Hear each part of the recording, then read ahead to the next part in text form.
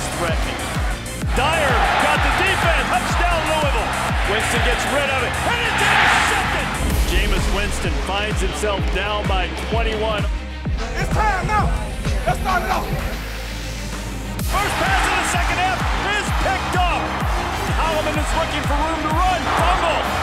And Florida State jumps on the fumble. Winston taking a shot, got a man wide open out there. If he hits him, it's a touchdown. He does, it. Into traffic, and somehow it got through. Touchdown, Florida State. Dyer into the end zone. Louisville back on top. Something had to go right for Louisville. Cook turns the corner. Cook's loose. He's headed to the end zone. Dalvin Cook touchdown, and Florida State's back on top. And just like that, the Noles strike